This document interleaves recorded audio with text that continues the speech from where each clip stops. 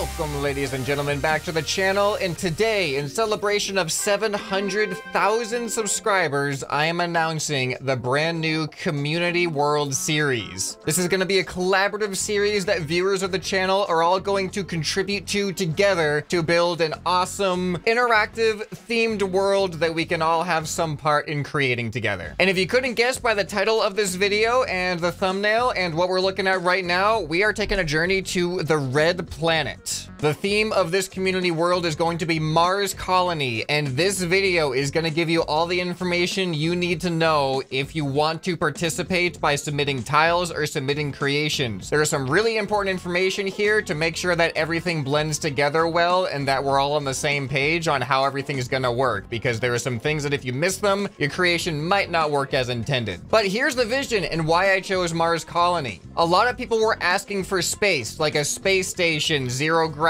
things like that. And as much as I like that idea, it is a little bit constricting on what we can create, especially where everything has to be zero gravity. With a Mars colony, we can actually have that and more, because hear me out. The intent of this world isn't going to be purely terrestrial or extraterrestrial since we're on Mars. The Mars location can actually add for a couple of different types of creations and styles of creations. We can have the human element, the surface of Mars. You can have our colony buildings, our Mars rovers, are, you know, land-based exploration vehicles, things like that. And on top of that, there can also be this dark, mysterious underbelly. Maybe there's actually life on Mars somewhere. Maybe there's some actual alien technology on Mars somewhere. There might be some hidden caves, some mysterious obelisks, things like that. Things that our rover and exploration might be able to locate. So that adds for a whole nother element other than just the standard Mars colony stuff.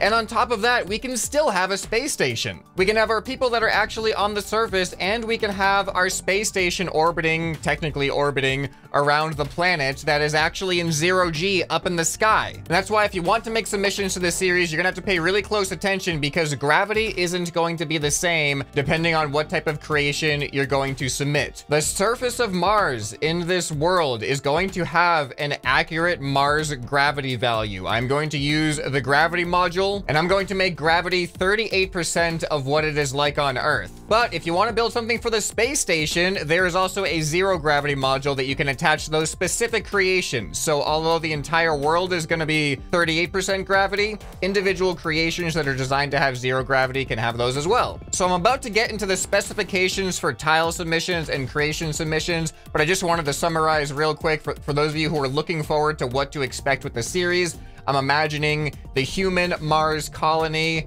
I'm imagining some mysterious alien technology that we can find and some maybe some alien caves and stuff as far as tiles goes. And I'm imagining, you know, some exploration vehicles that have to function in the lower gravity and some space vehicles to get to orbit around in the sky in a space station. Okay, if you want to submit your own tile, it is very important that you follow these instructions so that way your tile and everyone else's tile will seamlessly flow together. First is the ground color. This is very important. Over here, there's little hex value.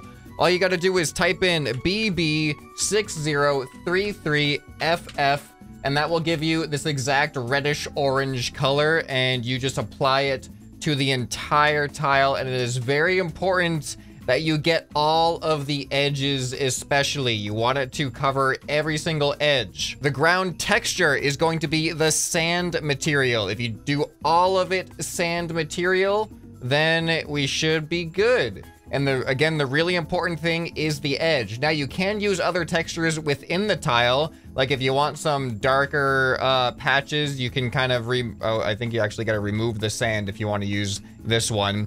But yeah, you can use some darker patches. You can use some of this stuff. Um, you can really use anything as if it just works with whatever your idea for the tile is. But the really key element is that it has to fade back into the designated textures as it gets to the edges. Because if you do this, then that means when I link up this to another tile, there's just going to be this hard line here. Same thing if you want to use any other colors, like if you want black for some reason, um, something gets charred in a particular area, then if it meets with the edge, then this is not gonna merge well with anybody else's tile. So we want to avoid that. As best we can. And another thing to pay attention to is your terrain height. If you're creating hills and valleys or anything like this, it still has to be standard ground level on the edge. If you start doing stuff like that, that's just not gonna make for good seams. Same thing if you go too high, this edge is just gonna be super obvious where the tile begins and where the tile ends. It'd be really cool to have a nice seamless Mars surface. I'd actually recommend Googling pictures of Mars surface for inspiration on what kind of things to make. There's not a whole lot of fancy stuff going on, but there are some craters, there's some different rock formations, things like that. But overall, I want to make this a pretty convincing desolate Mars environment. And now I know the real pictures from the Mars surface, it's not actually as red as the red planet name makes it out to be,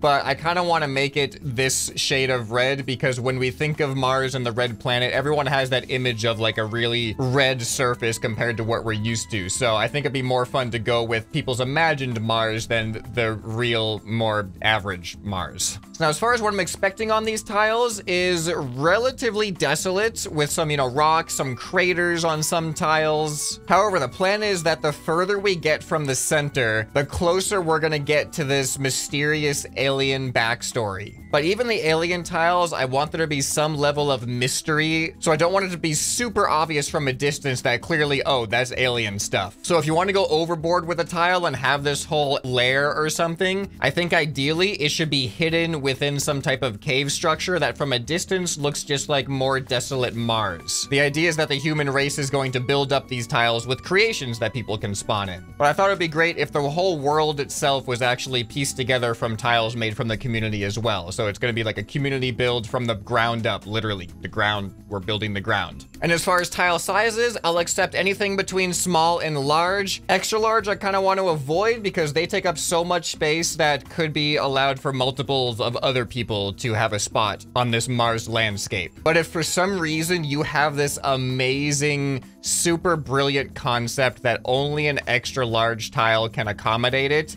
it just it just better be that good. But I will only make an exception for like an outstanding tile that has to be extra large. If you can do it on a large tile, go for a large tile instead. Okay, moving on. What if you just want to submit a blueprint?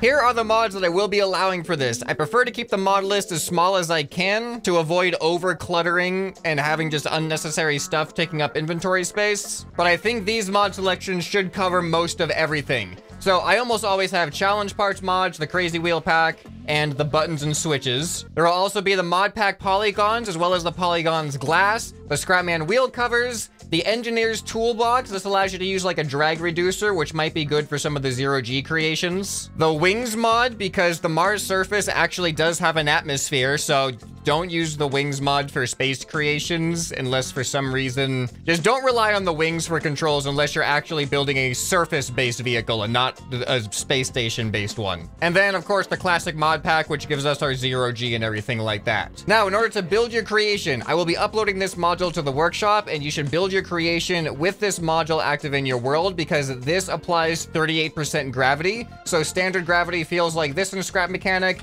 enable this, and suddenly we're on Mars. This is essentially Mars gravity and it will affect all the creations in the world. So this is essential if you want to build a surface rover based creation or a Mars helicopter or things like that. If you build it without this, it might have some unexpected behavior when I spawn it in with 38% gravity in the new world. So all surface-based creations should be built with this active. So on the other hand, if you want to build a zero-G based vehicle, one that is not going to be subject to Mars gravity because it's going to be up in orbit, that is where this gravity module is going to come into play. The gravity modulator is going to be making the entire Mars surface 38% gravity, but the gravity module, if you just slap this on any of your creations and then turn it on, it will suddenly become completely zero G. And it seems unaffected by this thing right here. And even if I turn, and even if I turn this on or off, you can still see it, it maintains zero G, just staying up there. And then if I turn this off, it falls back down to the ground. Yeah, so this right here is what it feels like to drive around on Mars gravity. It's definitely a lot floatier, a lot less, uh, a lot less traction on this thing on the ground. I'm trying to turn, but it's not really letting me that much when I when I give it the gas. In contrast, here's normal gravity.